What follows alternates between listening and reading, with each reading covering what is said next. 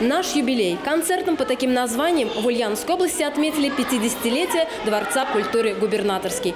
В этот день самым достойным работникам культуры вручили областную ведомственную премию «Браво, маэстро». Глава региона Алексей Русских поздравил с 50-летием Дворец дружбы народов губернаторский, его сотрудников, а также всех, кто имеет отношение к культуре и искусству.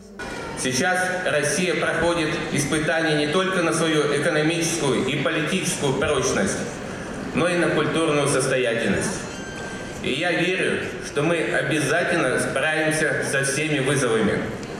Выражаю благодарность всем сотрудникам, а также ветеранам отрасли культуры и искусства за огромную просветительскую, воспитательную и патриотическую работу за бережное отношение к нашему наследию. На главной сцене Дворца дружбы народов губернаторский глава региона Алексей Русских вручил специальную премию «Маэстро» за значительный вклад в развитие культуры России и Ульяновской области. Лауреатом молодежной премии «Престиж» стал руководитель ансамбля народной музыки «Родник» Центра культуры и досуга «Восход» Артем Ситкин. Лауреатом премии «Призвание» руководитель народного коллектива эстрадной группы «Данка» Майнского района Сергей Историн. Мы много делаем в культуре, много делаем в рамках национального проекта «Культура». Спасибо президенту Российской Федерации Владимиру Владимировичу Путину за национальный проект «Культура», за поддержку нашей отрасли. Спасибо Министерству культуры Российской Федерации. Спасибо губернатору Ульяновской области и правительству Ульяновской области. Мы с вами, мы вместе.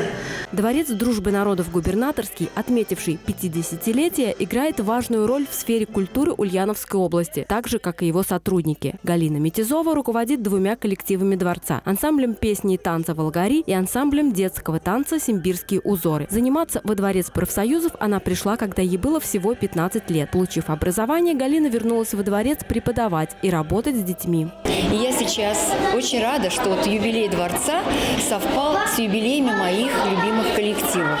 В декабре ансамбль «Волгари» отметили свой 30-летний юбилей, а вот 30 апреля 15-летний юбилей будет отмечать детский ансамбль танца «Симбирские узоры». Ольга Корнилова пришла работать во Дворец профсоюзов вместе с мужем в 1980 году после окончания Московского института культуры. Тогда был создан ансамбль танца «Счастливое детство», а через 10 лет из выпускников сформировался молодежный коллектив «21 век». Все эти годы мы старались всегда идти в ногу со временем. У нас общей сложности около 400 человек детей. Мы занимаемся всеми видами хореографического искусства. И современным, и эстрадным, и классическим, и народным танцем. Я хочу сказать, что дворец –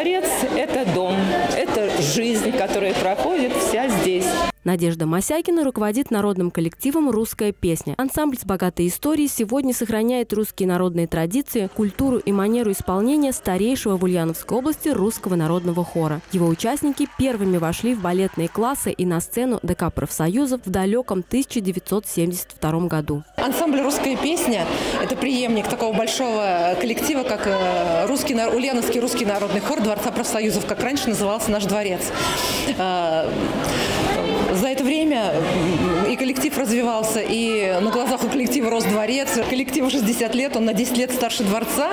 И когда дворец построился, весь третий этаж принадлежал э, такому большому коллективу. С юбилеем Дворец дружбы народов поздравили ведущие творческие коллективы области. Праздничный концерт стал подарком для работников культуры нашего региона. Валентина Никонова, Сергей Кудаков, Улправда ТВ.